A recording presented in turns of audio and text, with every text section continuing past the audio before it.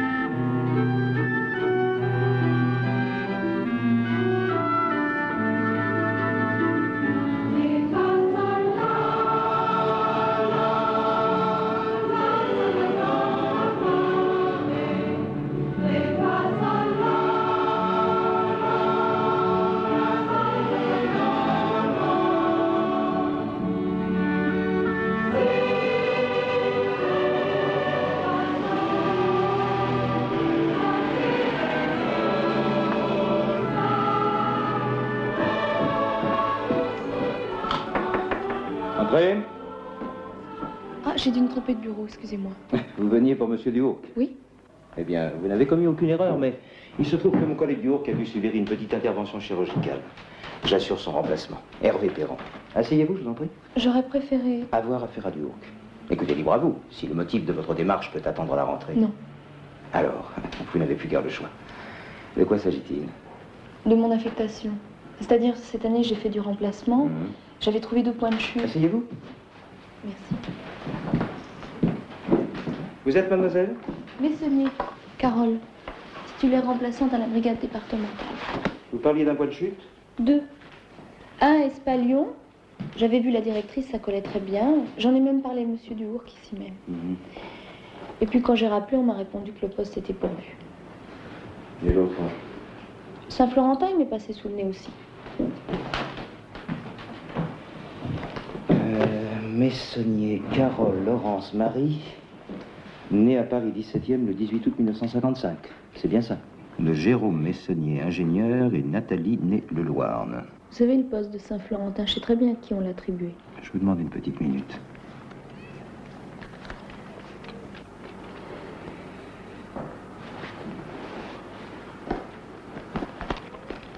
Je peux fumer? Vous fumez en classe? Et me lever, je peux?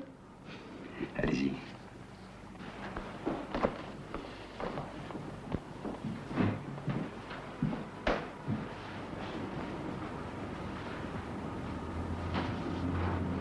Eh merde, ça va encore me coûter 50 francs. Ça, si vous êtes mal garé, j'en ai peur. Venez vous asseoir. Et permettez-moi de vous féliciter doublement. Pour votre curriculum, d'abord. Il est tout à fait original. Licence de lettres, certificat de sciences sociales, diplôme d'études cinématographiques de l'Université de Louvain. Quel éclectisme. Et puis, surtout pour votre filiation. Ma filiation. Ah, Vous êtes bien une Messonnier, de la dynastie des Messonniers. J'ai lu deux articles dans le bulletin signés euh, Claire Messonnier. Oui, c'est ma tante, professeur de philo. Mon grand-père Laurent l'a aidé. Et si j'ai bien compris, en s'appuyant sur les archives personnelles de votre arrière-grand-père, Louis. Oui, des, des archives, plutôt des carnets de notes, des cahiers au jour le jour. Vous les avez lus? Oui, ces cahiers. Bon, quelques-uns. Ah, mais moi, j'ai pas la vocation. hein. Tiens donc. Et comment se fait-il donc que vous soyez assise devant moi aujourd'hui, si vous... Écoutez, j'ai eu ma licence il y a 5 ans. Je croyais trouver une activité intéressante tout de suite. Alors j'ai travaillé dans un centre dramatique, c'était complètement bidon. Après j'ai vécu en communauté, c'était aussi bidon. Ça m'a juste permis de me brouiller avec mes parents, quoi, surtout avec mon père. Enfin, fallait bien que je vive, donc j'ai passé le concours externe de l'école, j'ai fait mes deux ans et je suis sortie l'an dernier titulaire remplaçante. Puis j'en ai un peu marre. Marre. Ah, Du remplacement. Bah oui, parce qu'il n'y a pas de raison que ça s'arrête. À chaque fois que je trouve des postes, ils sont déjà pris avant même de figurer comme poste vacant au bulletin départemental. Faut être logique, mademoiselle, s'ils sont pris. Ils ne peuvent plus figurer sur la liste des postes vacants. Mais non, c'est pas ça la logique. La logique, c'est qu'ils soient offerts au choix de tous, au lieu d'être magouillés pour les copains et les petites copines. Mademoiselle Messonnier, l'intérêt que j'ai manifesté pour votre famille ne vous Écoutez, autorise ma pas... famille, elle a rien à voir là-dedans. Ma famille, c'est vous qui l'avez évoqué. Je vous ai déjà dit, on est brouillé. Non, sur neuf mois et demi de scolarité, j'ai fait 27 remplacements. J'ai la liste si vous voulez vérifier. Nous en avons aussi une. Vous devriez vous en douter. Je veux une affectation permanente. voilà, je veux. Bah oui, je me suis renseignée. Vous n'êtes pas sans savoir que notre personnel enseignant appartient de plus en plus au sexe féminin. De quel sexe Pour des raisons biologiques, familiales, de simple résistance physique ou nerveuse, et je ne sais quoi encore, développe l'absentéisme aux limites de l'acceptable. Nous fermons les yeux, mais nous remplaçons les défaillantes par d'autres femmes, également défaillantes. Pas moi. Ah, excusez-moi, j'ai vu un arrêt de travail. Six jours sur dix mois, c'est pas mon ventre de bonne femme, ça, c'est une entorse. Mademoiselle Messonnier, je suis d'un naturel plutôt bienveillant. Mais là, je n'accepte ni votre ton, ni vos insinuations. Parfaitement.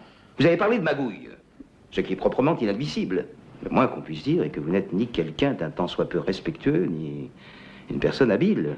Nous approchons cependant des notations. Oh, ben je me fais aucune illusion sur ma note. Plutôt sur la vôtre, celle que vous allez me donner. Je me demande cependant sur quels critères vous allez l'établir. Parce que 27 remplacements, ça signifie 27 classes différentes. J'ai pu m'adapter une fois sur quatre.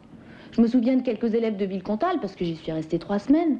Et certains du CE2 de Casseville, mais à part ceux-là, les autres, j'ai dû les voir un jour, deux jours. J'aurais pu tout aussi bien leur lire un numéro de capi que de leur faire la classe. Décidément, mademoiselle, il me paraît extrêmement dommage que vous n'ayez pas cru bon de lire les cahiers de votre aïeul. Je suis convaincu qu'il y a entre lui et vous...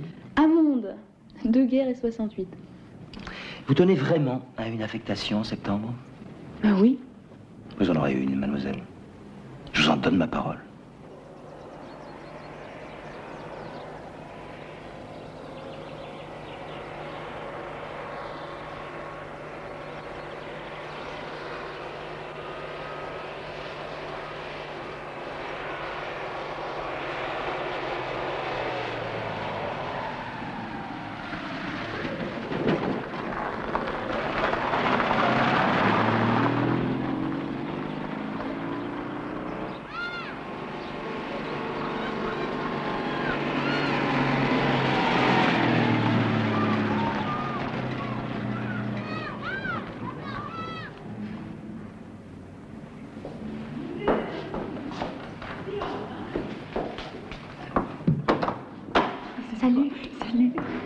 Ça y est. Ça y est, j'étais à l'inspection, m'ont promis un poste. Oh, une promesse, ça les engage pas beaucoup les promesses, tu sais, surtout du Hourk. Mais c'était pas du Hourk, c'était un type qui le remplaçait.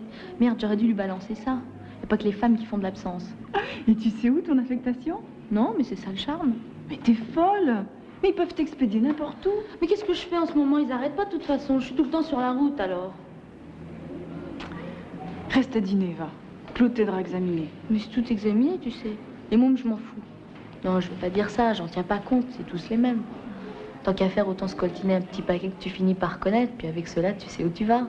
Non, ce qui change tout, par contre, c'est la fatigue, les hôtels crasseux que tu payes cher, les collègues qui te regardent de haut, puis les élèves qui en ont rien à foutre parce qu'ils savent que dans une semaine, tu te barres.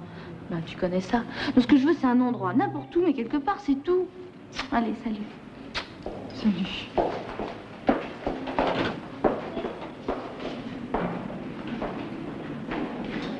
Tu l'as pas gardée à dîner Ah, elle a pas voulu. Elle est folle, tu connais sa dernière trouvaille? Elle a mordu un conseiller pédagogique. Oh, sérieusement, Claude. Non, elle est passée à l'inspection, exige une affectation, elle ne sait rien quant à son nouveau poste et elle part en vacances. Au moins, elle en profitera. Il sera toujours temps de lui remonter le moral quand elle aura reçu la petite enveloppe du ministère.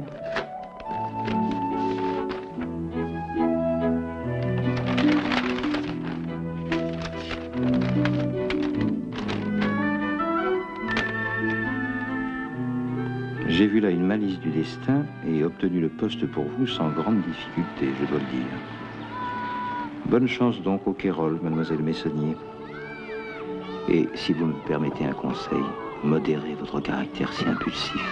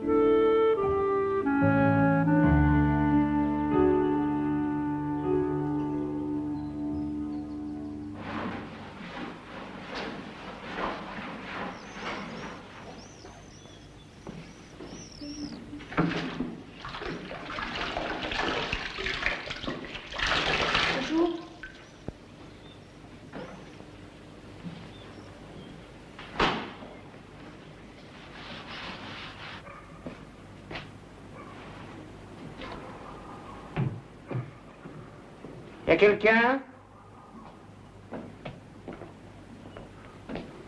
Mademoiselle, je suis le maire. On m'a dit que vous étiez passé me voir tantôt. Je suis venue me montrer, quoi. Ne vous habillez pas trop à la rampe. Moi, je sais. On m'a dit que vous aviez donné un petit coup de propreté à la classe. J'ai essayé. Non, je comprends, c'est pas très luxueux. Là-haut non plus, d'ailleurs. On m'avait dit que le logement était possible, mais là... Ah, possible, oui. Il y en a un qui a logé. Pas Roumi. Monsieur Roumi, c'est notre dernier. Et celui d'avant non plus. Enfin, il y en a eu un. Vous êtes la première femme sur le poste depuis peut-être euh, 15 ans. Ah bah je comprends ça, ni eau, ni électricité, le plancher qui s'enfonce, la rampe, j'en parle pas. Y quelques travaux à faire et la commune est pauvre. Mais pour l'électricité, je vous la ferai réparer pour lundi, pour la rentrée. Et le chauffage? Oh là là C'est pas le bois qui manque. On vous installera un poêle pour le 15 octobre, ça chauffe en 10 minutes. Les enfants vous apporteront les bûches tous les matins. Hé, comme dans le temps. D'ailleurs, si vous avez besoin, il y a une petite réserve dans la seconde classe. Et oui, il y a eu deux classes ici. Non mais quand vous parlez de quelques travaux, vous envisagez quoi? L'eau sur l'évier, la peinture, les sanitaires? Si vous avez un peu de temps pour avaler une soupe à la maison, ma femme vous mettra un couvert. Ça nous permettra de parler d'un petit peu tout dans les détails.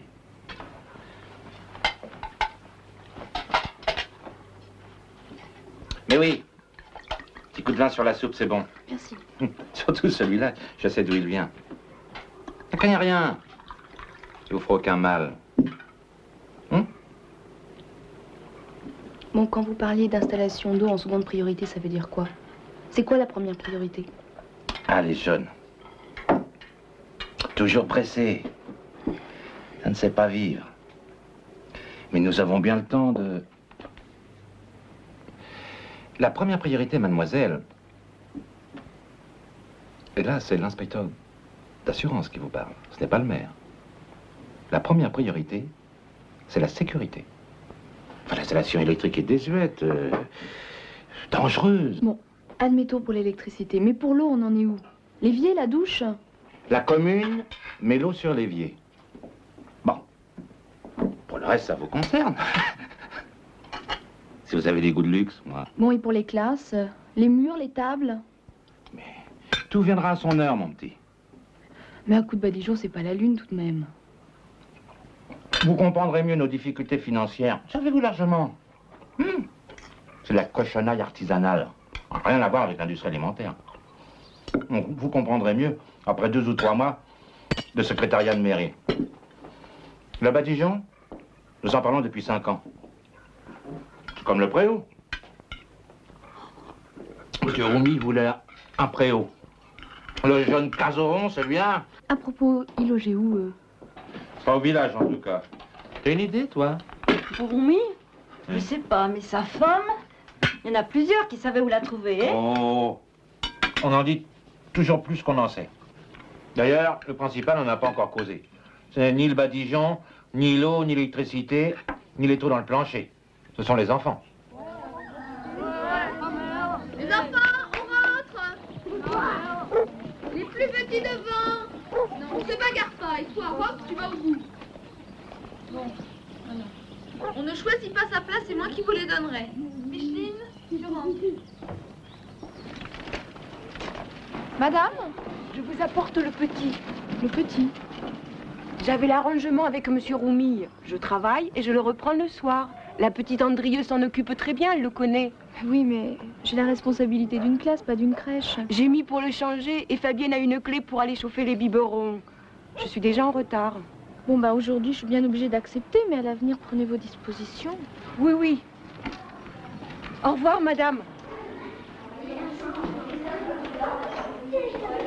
Silence Prenez-le-moi, madame. Bonjour. Alors, Micheline, Louisette, Henri. Et ben toi, j'ai dit qu'on choisissait pas sa place. J'ai toujours été là. Et alors, tu vas faire toute la vie les mêmes gestes aux mêmes endroits? Je m'occupe du poil. C'est là qu'on s'assied quand on s'occupe du poil, non? Oui, mais quand on s'occupe pas du poil et qu'on s'appelle Julien Roch, on se met là.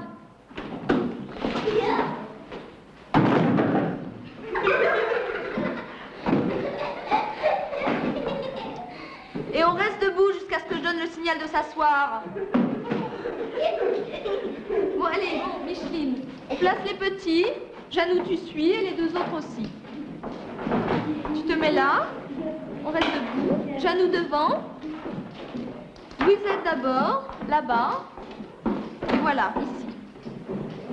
Euh, Simone Vaquet, tu viens te mettre là. Henri Maillot. Tu viens te mettre au fond à droite. Huguette Boyer, Maria Laporte. Euh, Maria, tu viens devant et Huguette ici. Voilà. Raymond Boyer, toi, tu viens te placer entre les deux garçons. Et Fabienne Andrieux, à côté d'Huguette. Voilà.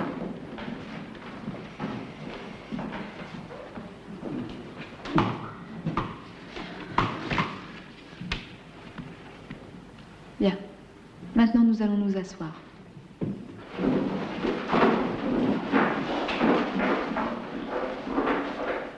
Je m'appelle Carole Messonnier. J'ai 23 ans. Je suis originaire, ou plutôt ma famille est originaire de Soulargues, où je vais habiter le temps qu'on arrange le logement au-dessus de cette classe. Il se peut que vos familles vous posent quelques questions ce soir, c'est pourquoi je vous parle de ces petites choses. Nous allons vivre ensemble cette année dans cette classe. Nous allons travailler sérieusement, surtout avec les plus grands. Et je m'efforcerai de vous rendre les choses aussi simples et aussi agréables que possible.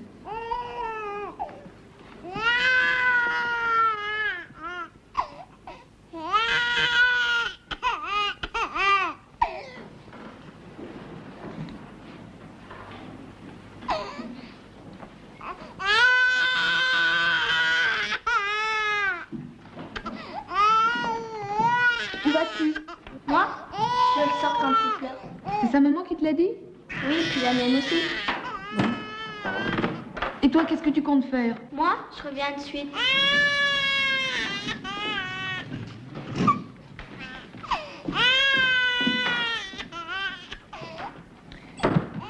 Aujourd'hui, nous allons surtout faire connaissance. Et après, je vais vous distribuer vos livres et je vous dirai aussi quelles sont les fournitures que vos parents devront vous acheter. Eh, moi, les livres, je les ai. Le père Oumi, il me les a laissés toutes les vacances pour travailler. Moi aussi. Et vous avez travaillé? Je pense bien, j'ai fait tout l'été chez mon oncle. Et alors? Ah, son oncle, c'est restaurant de la Croix-Blanche. Elle travaille à la cuisine. Livre, je s'en souviens. Écoute, Julien, tu parleras quand je t'interrogerai. C'est la règle. Elle vaut pour toi comme pour les autres. On m'en verra plus tard pour les livres. En attendant, je vais vous lire un texte, simplement le lire, et après on en discutera. Voilà, c'est ça. Vous voyez, c'est pas très long. Les plus petits peuvent prendre leurs ardoises pour dessiner. Les autres écoutent. Le progrès de l'homme par l'avancement des esprits. Point de salut hors de là. Enseignez, apprenez. Toutes les révolutions de l'avenir sont incluses, amorties dans ces mots. Instruction gratuite et obligatoire. Mangez le livre. Partout.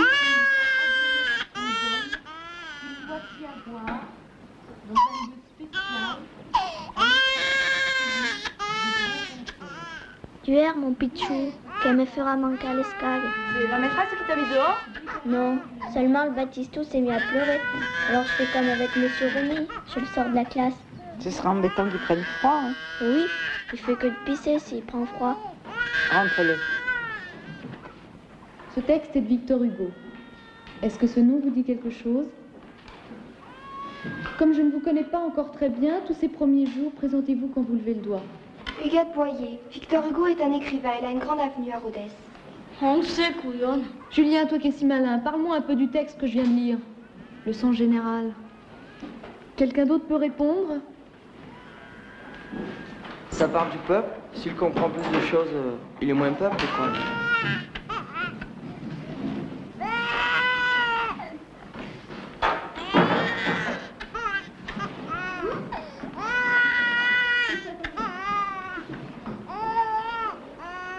Bien, Henri. Tu n'as pas dit ton nom, mais je pense que c'est toi, Henri Maillot. Ouais. Mademoiselle. Oui, mademoiselle. C'est mieux. Faut être galant avec les dames. Bon, on va essayer d'oublier le bébé, faire comme s'il n'était pas là. Ça la citera peut-être à se taire. Henri, tu as parlé du peuple, c'est quoi au juste pour toi le peuple? Les pauvres Tiens. Qui par exemple? Mes parents Qu'est-ce qu'ils font? Ils sont paysans. Et monsieur le maire? Ah non Tu le mets pas dans le peuple. Non. Pourquoi? Parce qu'il est riche. Et moi? Non. Parce que je suis riche? C'est ma belle de chevaux qui te fait croire ça? Vous tenez la classe. C'est que vous êtes instruite. Tu es d'accord avec lui, Maria? Ouais, comme ça. Et tu as une idée sur ce que j'ai lu? J'ai rien compris. Raymond? Raymond, t'es pas bien? Quoi? C'est la télé. Chez eux? Ils la regardent jusqu'à minuit. Bah, je verrai vos parents pour ça. Il y aura une réunion dans une semaine. Et je leur expliquerai en quoi la télévision peut être utilisée comme un instrument pédagogique, c'est-à-dire pour apprendre certaines choses. Je vous remercie d'être venu. J'espérais vous voir plus nombreux. Certains présents sont mandatés par plusieurs familles. Oui, mais un contact direct est irremplaçable, monsieur le maire. D'ailleurs, j'aurais souhaité vous voir plus tôt, mais vous m'avez fait savoir que les gros travaux n'étaient pas achevés. Donc, nous sommes en retard sur mes plans. Et puis, l'hiver n'est pas loin. À propos d'hiver, mademoiselle Messonnier, j'ai une demande à vous faire de la part des familles Tesser et Duprat, qui sont sur le chemin de votre voiture. Oui, moi aussi, j'ai une requête à formuler à propos de l'hiver. Elle concerne le bois de chauffage. Ce que nous apportent les enfants est très insuffisant. Comment ça, suffisant Ah, fin de mon temps. On- Oui, mais de votre temps, vous étiez plus de 30 par classe, je me suis renseignée. Moi, aujourd'hui, j'ai 11 enfants, dont une grosse moitié ne peut apporter qu'une bûchette ridicule. Nous aviserons. Comme pour l'eau. L'eau. L'eau Mais l'eau, elle vous causerait plus d'ennui que davantage, à présent que le gel menace. Tout de même, Marcel, il vaut mieux que les petits aient chaud. Demande donc au gros vatier. Le cantonnier est occupé. Je suis désolé. Occupé, occupé à couper ton bois, oui. Ah ben, il en coupera pour l'école aussi bien que pour toi. Écoutez, nous ne sommes pas venus pour des histoires qui sont de la compétence du conseil municipal et de lui seul. Vous avez raison, je m'occuperai du conseil municipal très bientôt. Ce soir, je voudrais que nous réglions le problème de la télévision. Et surtout que nous abordions, dans le cadre des activités d'éveil, un petit voyage que j'organiserai au printemps. Bon, nous aurons le temps d'en reparler, mais je sais qu'il durerait trois jours. Nous irions à Comte, visiter Sainte-Foy et le Trésor, à Decazeville, voir la mine à ciel ouvert. Nous traversons l'Aubrac et, si tout va bien, j'espère leur faire visiter une usine hydroélectrique et un barrage. Je ne sais pas encore lesquels. Dites Qui va payer tout ça? Il m'emmerdait, il m'emmerdait. Il débinait tout, rien ne lui convenait. Je l'aurais bouffé ce vieux machin. Nous y sommes tous passés, tu sais. Ça, je l'aurais entendu. Tiens, dis donc, ce machin-là, j'ai pas su si c'était à toi ou à moi. C'est à moi? Tu me l'aurais piqué, dis donc. Insolente.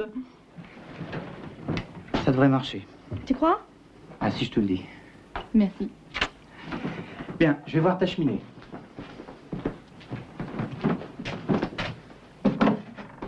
Si je vous avais pas tous les deux. Tu parles. La lessive avec une machine, c'est pas une affaire.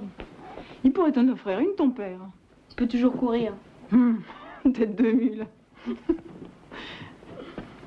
J'aime bien chez toi.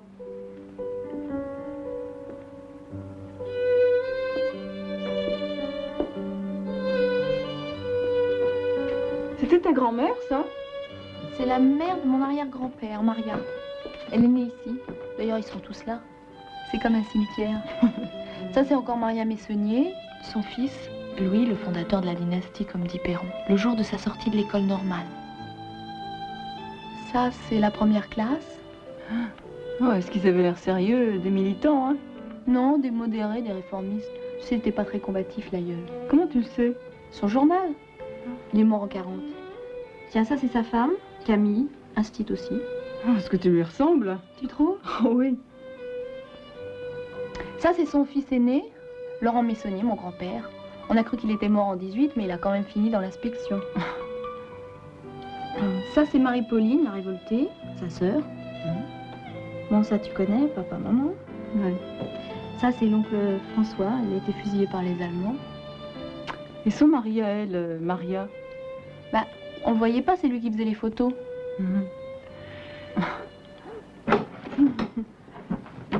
Tu as des oiseaux qui ont fait leur nid dans le chaperon. La vue est belle. Je connaissais pas ta maison. J'espère bien. Idiote. J'aime bien cette maison.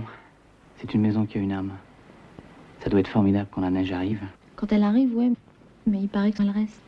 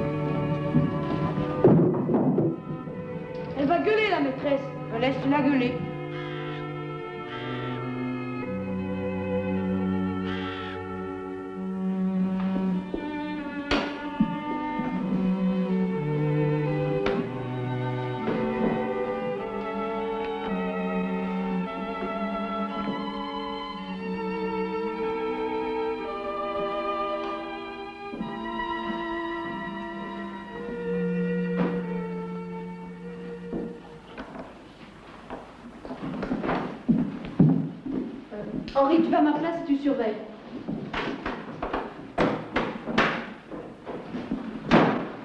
Celui qui déconne, tu fous mon poids sur la gueule.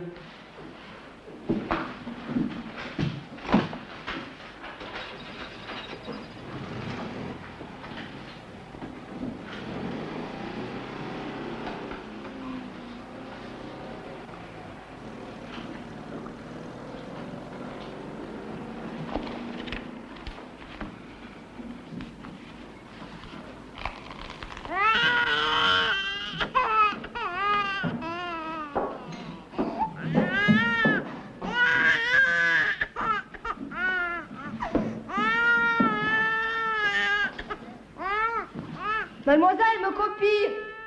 Mademoiselle est partie, alors tu la boucles. Taisez-vous Maria, à ta place ou je te marre Eh, celle qui fait du bruit, c'est moi. Tu marques. Ça va Cherchez-le moi alors Sophie qui se regarde.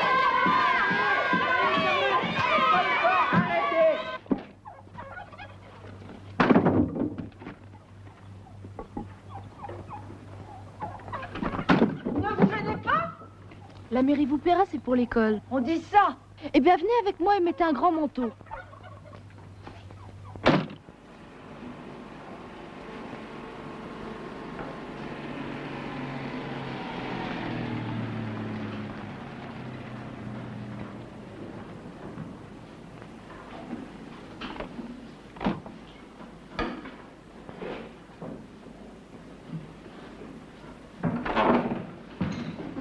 Allez, entre.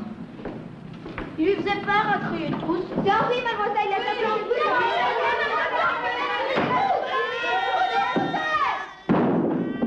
Julien, va t'occuper du poil. Henri et Simone, il y a du bois dans ma voiture, vous ferez un tas au fond de la classe. Mais pas maintenant, à 10 heures, pendant la récréation. Julien, qu'est-ce que je t'ai dit? Le poil. Qu'est-ce que t'as? Cette brutasse d'Henri On peut pas vous laisser 5 minutes, hein? Tu as mal? Fais-moi voir. Oh, c'est rien pour une petite tape. Bon, on va faire la récréation maintenant. Simone surveillera à la récré. Et vous jouez gentiment, je ne veux ni bataille ni sottise d'aucune sorte.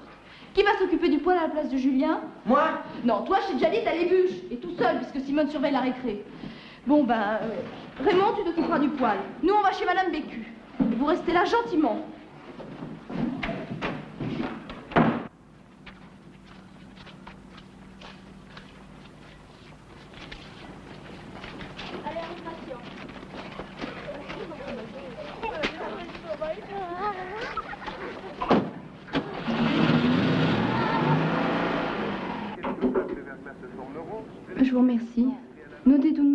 docteur, s'il peut pas passer mhm. dans l'après-midi à l'école, qu'il passe chez les parents dans la soirée.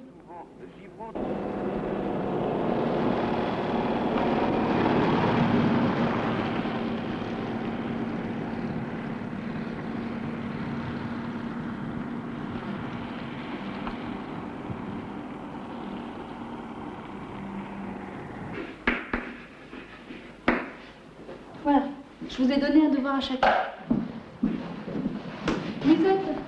Demanderas à ton papa où j'aurai la chance de trouver du haut. Vous savez ce que c'est que du haut? Oui, c'est un truc qui pique avec des boules rouges.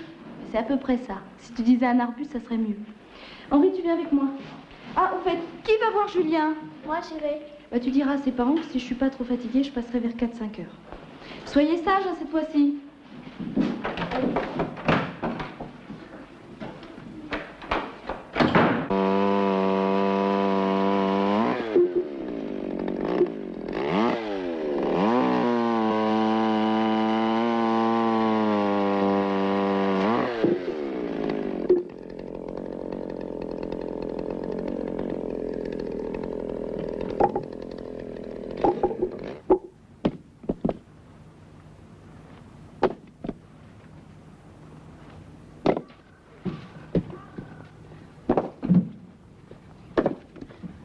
garde le reste Puech.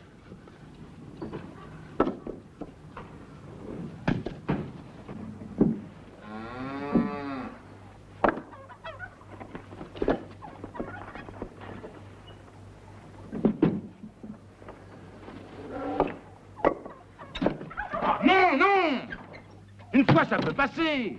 Vous aviez l'excuse de la nécessité. Mais aujourd'hui... Aujourd'hui, je vais vous rendre le bois que je vous ai emprunté l'autre jour. Ah bon, oui. Ah, ah oui? Oui, et vous pourrez dire à votre femme qu'elle ne se croit pas obligée de me faire des réflexions chez les commerçants. Parce que moi aussi, un jour, ça pourrait partir. Tiens. Ça va ton museau? Moi, je sens plus mes reins. On a coupé sur les arbres de mon père. Ça va ton pif? C'est pas mon pif, c'est mon œil.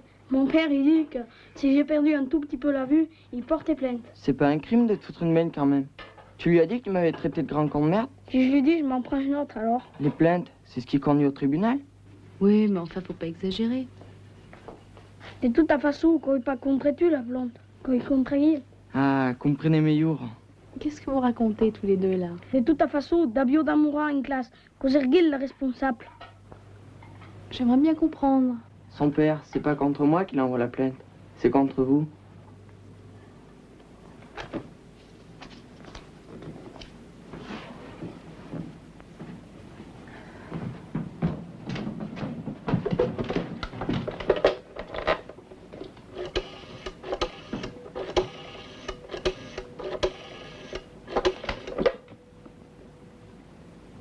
Françoise C'est Carole.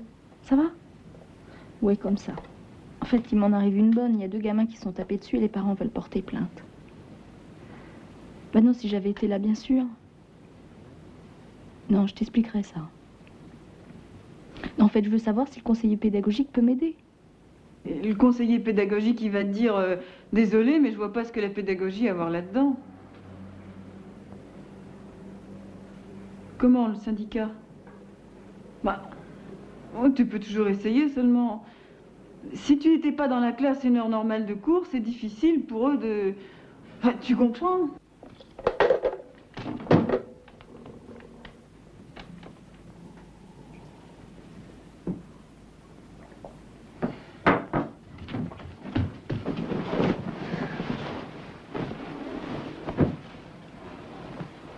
Qu'est-ce que je fous là-dedans? Pour 3171 francs par mois?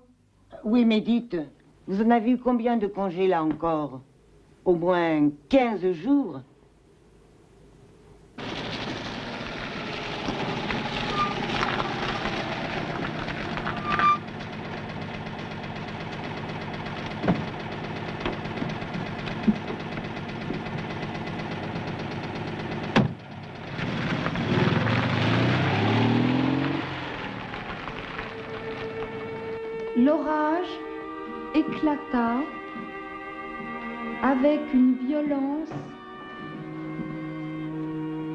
Inaccoutumée.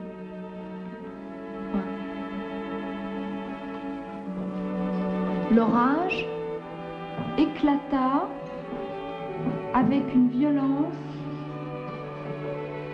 inaccoutumée.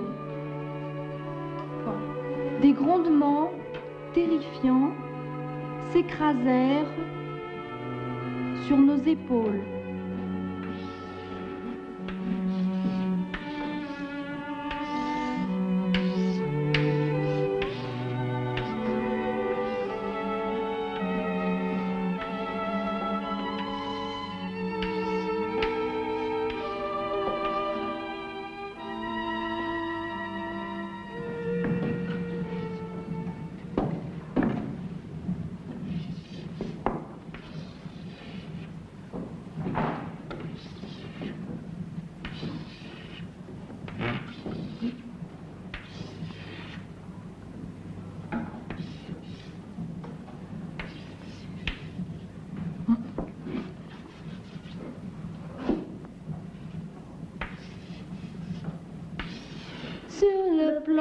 On va un peu plus vite. Une araignée se tricotait des bottes dans un flacon à limaçon enfilé. On va plus vite, sa culotte.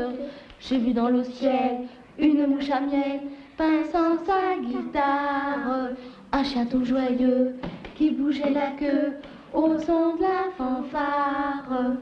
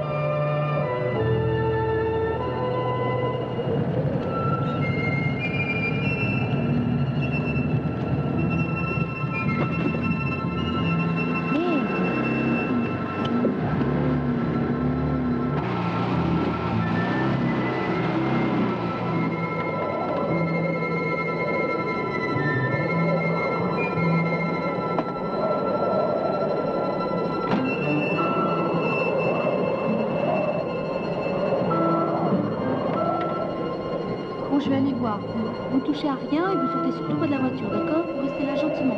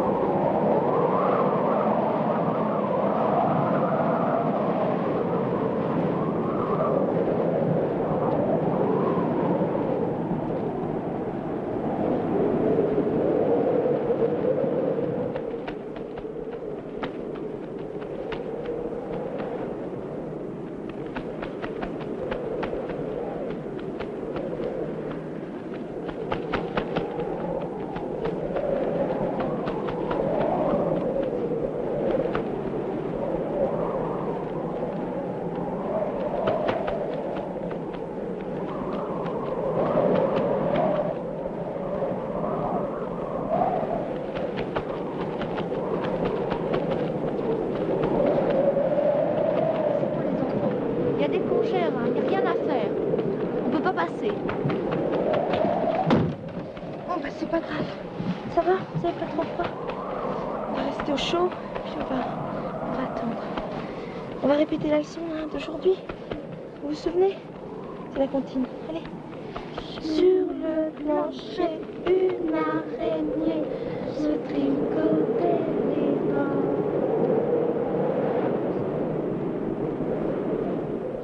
Une souris verte qui courait dans l'air. Je l'attrape par la queue, je la donne à ces messieurs. Ces messieurs s'endorment pas. Me disent, trempez-la dans l'huile, trempez-la dans l'eau, ça donnera un escargot tout chaud.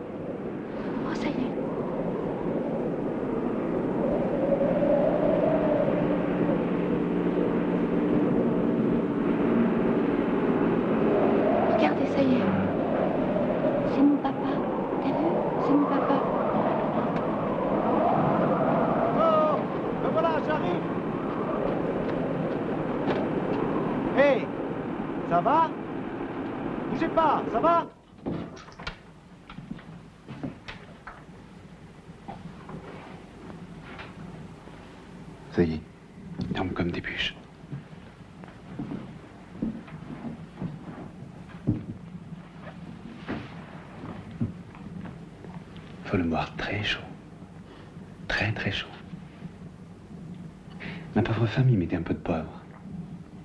C'est tellement fort, j'ai du mal à l'avaler.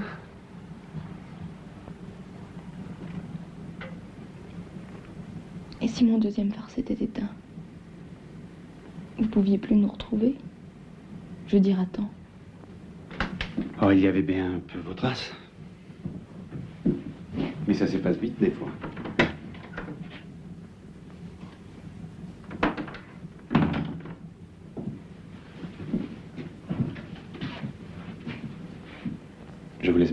Oh non, vraiment. Mais si, ne craignez rien, je vais où dormir.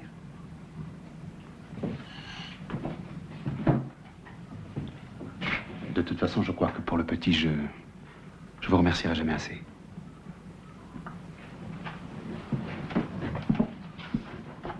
On disait que vous n'aimiez pas trop les enfants. Ah, Moi, je saurais quoi répondre. Et qui raconte ses gentillesses? Oh, les cons, les méchants. Demain matin, j'irai chercher votre voiture. Et je l'amènerai au garagiste. Celui qui est près du pont. Mais c'est pas possible. Comment je vais faire, moi, pour l'école? Mais on téléphonera à votre mère, le puèche. Il n'y a pas d'école. Vous rentrez chez vous. La maîtresse est malade, paraît-il. L'autre qu'un. Vos parents n'auront qu'à se renseigner à la mairie.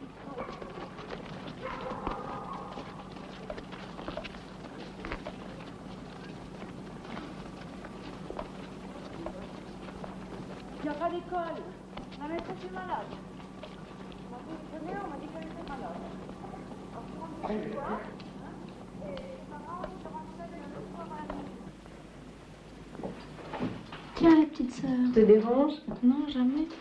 Faut que je me sauve, j'ai cours à 6 heures. Maman demande si tu mangerais un peu de gibier. Oh non. Et un aligot. J'ai plutôt envie de thé et de mandarine. Dis-lui oui, ça lui fera plaisir. Ok, moi j'adore. Les cahiers du fondateur? Hmm? C'est marrant, non? C'est même assez fabuleux. Tout au début, Louis et sa mère, ils ont fait crever comme moi dans la neige. Fais un effort. Crever. Si tu disais ça devant papa, ce serait encore une crise. Tu vas pas t'y mettre aussi Non, mais ils étaient formidables, les ancêtres. Tu les as lus, toi? Tu devrais, c'est... C'est émouvant, c'est drôle. Surtout si tu veux écrire un bouquin un jour. Écoute, il y a peut-être des sujets un peu plus palpitants, non? Si je m'y mets, Bon, écoute, on en reparlera. Je suis à la bourre. Salut. salut. Ah tiens, j'ai oublié, t'as une lettre. Inspection, qu'est-ce qu'il me veut Je croyais qu'on ne vous remplaçait jamais, mademoiselle Messonnier. Je vous plaisante. En réalité, nous sommes assez fiers de vous. Ah bon? Eh oui, vous vous êtes conduite exactement Comme un être humain? Hein, comme un être humain qui aurait la vocation d'enseigner et de protéger. Ce que vous contestiez, si j'ai bonne mémoire. Vous l'avez? Bien. Ceci étant dit, parlons d'avenir. Quels sont vos projets? Je repars lundi. Mais J'entends bien, mais je parlais de la rentrée. L'année prochaine. Pas l'année prochaine, si la mairie fait l'effort d'installer le logement. Je logerai sur place, c'est la seule différence. Hmm. Non, mademoiselle. Ils ne feront aucun effort. Nous fermons l'école du Carole. Mais pourquoi? Vous avez 11 élèves. Les deux plus grands, Henri Maillebio et Simone Vaquier, passent en technique. Reste neuf. Or, les enfants Boyer suivent leur famille à Clermont, où le père a trouvé un emploi. Reste sept. Le seuil du nombre d'inscrits est fixé à neuf enfants. En deçà, vous le savez, nous fermons.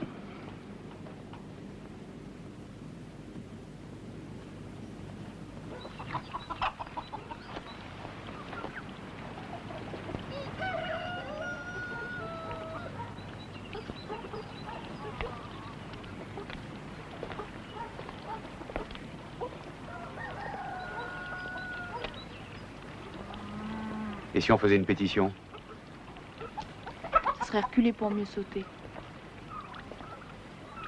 Puis il y aura de moins en moins d'enfants. La loi, c'est la loi. Ils organiseront un ramassage scolaire.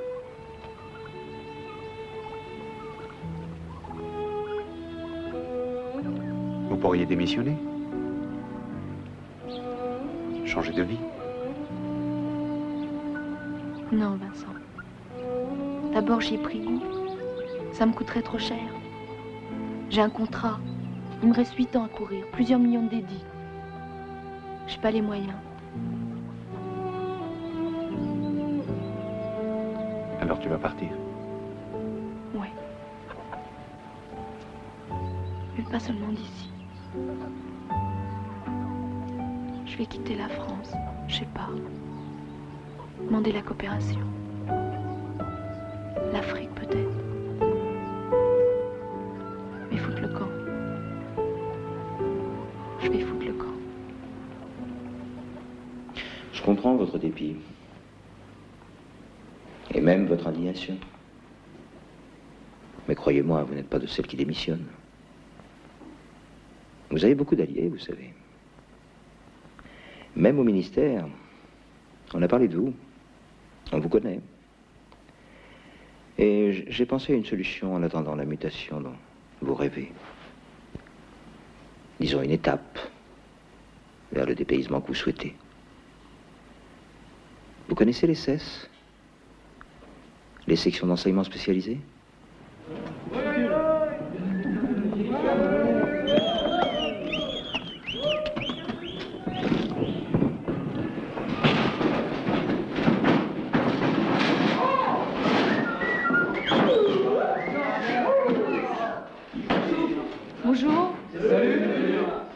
Je m'appelle Carole Messonnier.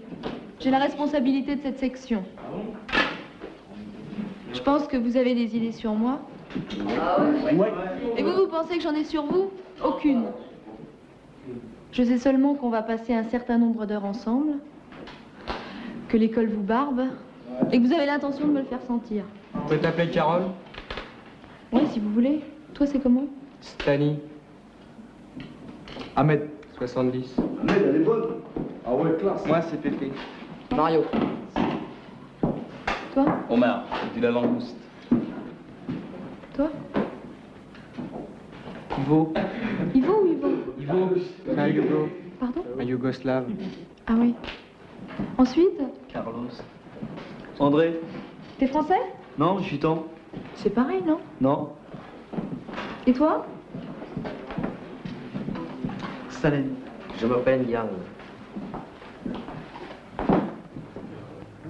Et vous Ils comprennent rien, c'est des taux, et ils débarquent. Eh, pourquoi tu portes pas des jupes Elle a des jambes de bois Oh, elle est bien foutue, là On va mettre les choses au point tout de suite, hein Vous êtes 15, costaud, sûrement très malin, et moi je suis toute seule et je suis une nana. Alors si on fait la guerre, j'ai perdu d'avance, ok?